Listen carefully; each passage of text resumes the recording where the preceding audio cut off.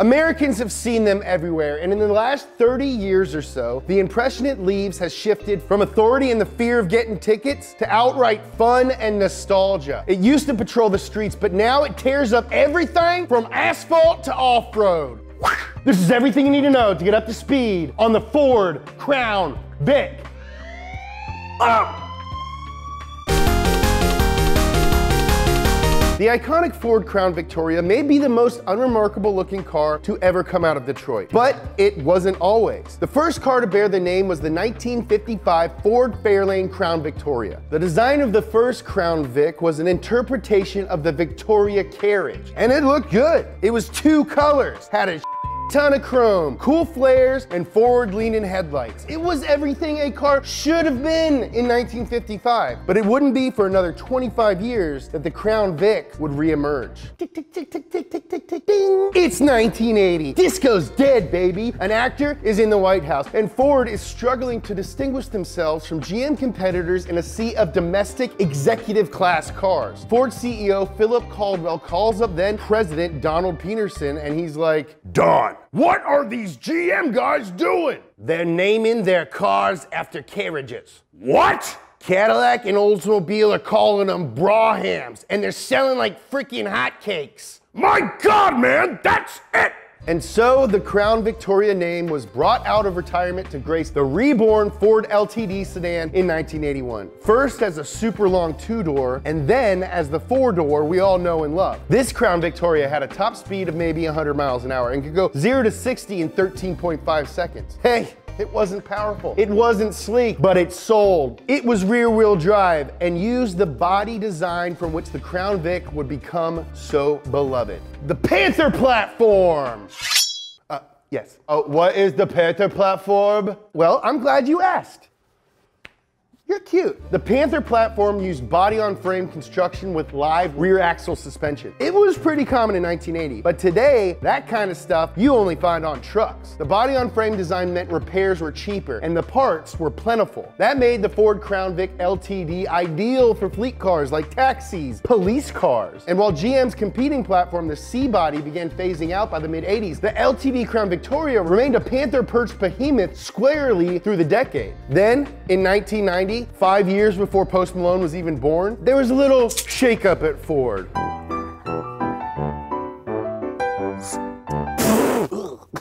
the guys who were in charge when the LTD Crown Vic was launched were on their way out for undisclosed reasons. Anyway, declining sales made it clear that boxy square road boats were on the outs. New CEO Arthur Poling was chatting with new president Philip Benton about what to do with the LTD Crown Victoria. Phil, baby, we gotta get rid of this big rear wheel drive box. Now, Art, Hear me out. Nobody's making executive class body on frame rear wheel drive cars but us and Chevy. Bubby, sweetheart, that's my point. Well, what if what if we make it sleek? Sleek, huh? I love it. Make it so, babe. So Ford redesigned the Crown Vic, dropping its friction coefficient from 0.42 to 0.34. That's like me with a beard versus clean shaven. It had a more sleek front end without a grill, unlike Post Malone, a curved roof and tapered rear. It still took advantage of the Panther platform and it added a more powerful 4.6 liter V8 with overhead cam that made 210 horsepower when fitted with dual exhaust. Its main competition, however, the Caprice Classic, took top billing that year from Garner Motor garnering Motor Trend's Car of the Year award. While police departments still preferred the Caprice, it looked weird. Weird enough that the Crown Victoria began to outsell it. Ford was cementing itself as the prime choice for dudes with families who wanted super long, rear-wheel drive, V8 four-doors with three in the front seating capacity. And yes, they sold a ton of them as fleet vehicles. People love them as fleet vehicles because of that sweet, sweet Panther platform. Then in 1996, Chevy made a decision that would forever cement the Crown Vic as the cop car to end all cop cars. They discontinued their Caprice Classic and Ford was like, that's tight. Mercury Grand Marquis, the Lincoln Town Car, and the Crown Victoria were now the only option in the boat size, rear wheel drive, body on frame, American made executive class. And this gave Ford the exclusive monopoly on fleet cars. Never slow down with the Crown Vic. The Crown Vic was dramatically restyled for 1998 by adopting the roof that was previously only used for the better selling Mercury Grand Marquis. This is the Crown Vic that we all know and love, or know and hate, because it's pulled over its fair share of drivers. This second generation Crown Vic has rounded lines, a cute little bubble top, and classy grille in the front, just like Post Malone. And of course, the body on frame Panther platform.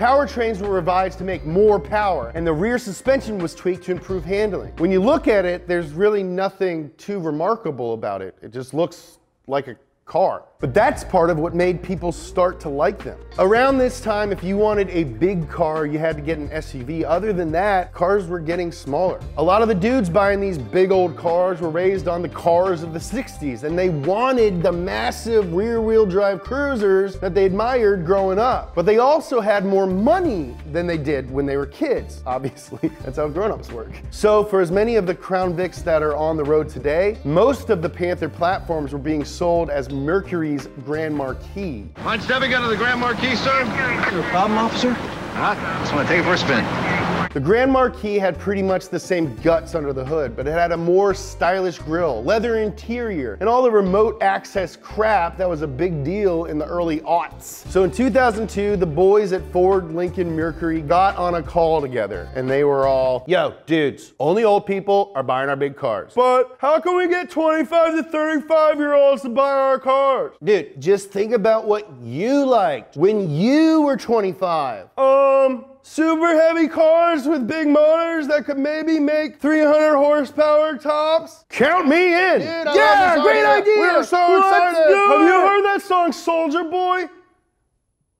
Woo! So they took the Crown Vic, gave it a sportier suspension, a redesigned intake, a center mounted shifter, and some pretty badass trim. I know a thing or two about badass trim.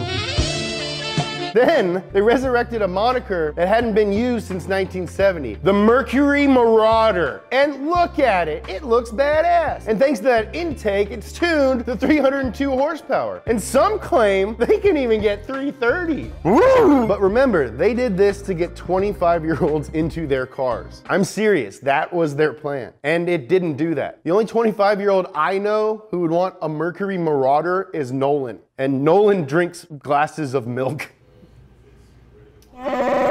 Mercury sold almost 12,000 Marauders, mostly to 50-year-old dudes, while the Grand Marquis happily sold almost 175,000. If the Grand Marquis so thoroughly outsold the Crown Vic, why are there so many Crown Vics still charging down America's highways? Fleet sales, my man. Fleet sales accounted for over 90% of the Crown Vic sold. 90%. And once they started going on sale at police auctions, savvy car fans started falling in love with them. There's no shortage of parts, the engine is big and robust, and the engine bay is enormous. Crown Vics are begging to be tinkered with. You can turbo or supercharge them really easily, or do both.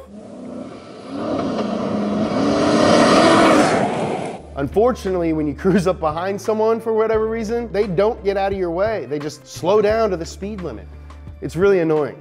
On September 15th, 2011, the final Ford Crown Victoria rolled off the assembly line, destined for export to Saudi Arabia, an appropriate ambassador of bygone American style of automobile. It was built on a platform that lasted over 30 years, the longest in American car history. Even the fact that they kept making it after people stopped buying it is an embodiment of American automotive tradition. It may be the most American car ever. We release a video just about every darn day. To make sure you don't miss any, hit this man right here. If you want to double make sure that you don't miss anything, hit the notification bell. You like big V8? Check out this episode of Up to Speed. You like Ford? You like Dodges? Watch this episode of Wheelhouse. Follow me on Instagram and Twitter at James Pumphrey. Follow Donut at Donut Media. I love you.